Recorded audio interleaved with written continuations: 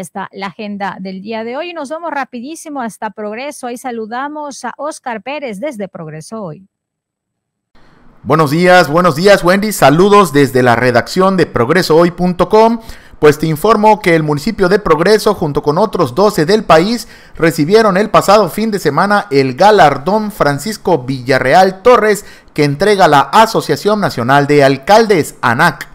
El premio fue otorgado por dos proyectos impulsados por el ayuntamiento local, como son la certificación Blue Flag en dos sectores de las playas del malecón tradicional e internacional, así como la creación del módulo médico móvil. Ambos proyectos municipales fueron reconocidos dentro del rubro de prácticas municipales exitosas. El alcalde Julián Zacarías, quien acudió a recibir la distinción a la capital del país, agradeció el esfuerzo y colaboración de las diferentes direcciones del ayuntamiento para obtener el premio, así como el apoyo del gobernador Mauricio Vila Dosal por el impulso que le ha dado al puerto de progreso.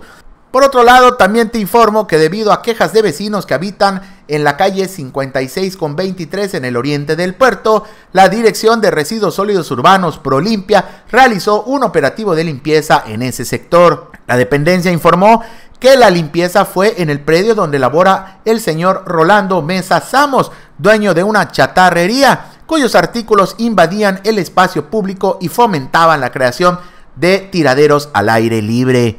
Por lo anterior, Prolimpia realizó un operativo de limpieza donde levantaron lavadoras, colchones, piezas de vehículos, electrodomésticos, entre otros desperdicios. Habitantes de la zona agradecieron la intervención de las dependencias para la limpieza de la zona, mientras que el dueño se comprometió a mantener limpio el lugar. Por otro lado, te comento que Progreso se sumó el pasado fin de semana a la jornada cultural denominada Líbano vive en México, que se efectuó con motivo del aniversario de la inmigración libanesa en Yucatán. Como se sabe, las celebraciones se realizaron tanto en Mérida como en este puerto, donde el pasado sábado autoridades municipales develaron una placa conmemorativa en las instalaciones de la Casa de la Cultura de este puerto.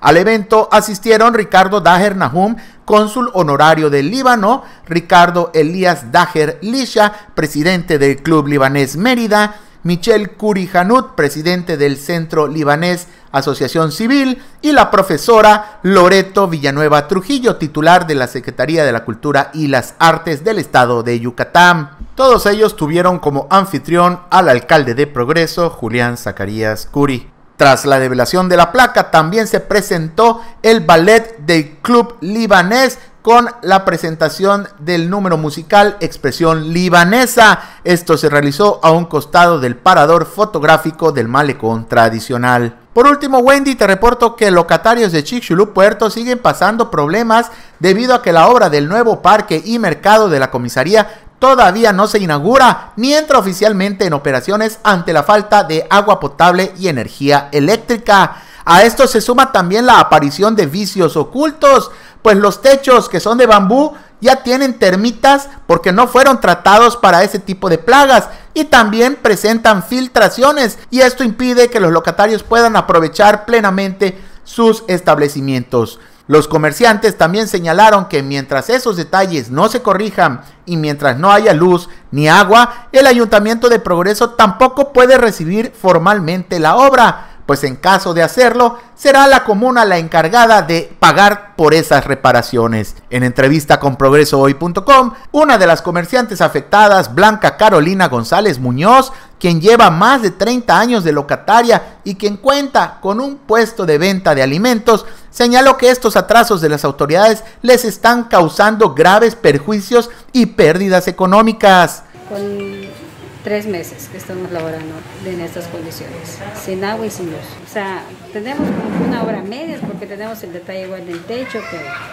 que tenemos el, las termitas y el polvo que, aún sigue cayendo, a pesar de que ya se fumigó, se sigue cayendo el polvito y, tenemos el detalle de las termitas.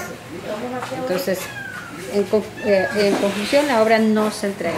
El ayuntamiento no quiere todavía digamos, aceptar la obra por el detalle del techo y pues al no entregarse la obra pues tenemos el problema de la luz y del agua. Hasta ahorita nos han dicho que, que se tiene que meter el oficio para que se pueda cambiar el techo, para que entre la garantía. Entonces es un proceso que va a tardar, va a llevar su tiempo y por eso todavía no, no, la obra no la quieren aceptar. Esta es una extensión de luz que la tengo conectada a la comisaría donde están conectados todos los puestecitos que están abiertos ahorita, que es una que vende comida, una que vende refrescos y sabritas y un señor que vende perros calientes. Están conectados a la comisaría, así yo estoy conectada. Y tengo puesto un poco. Pues hasta ahorita seguimos con el detalle de las termitas, el polvo, puedes, puedes verlo acá en la mesa. el polvo.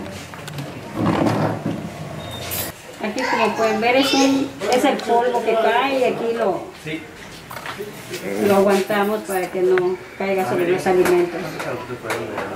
Todo esto es lo que protege para que no caiga el polvo a los alimentos.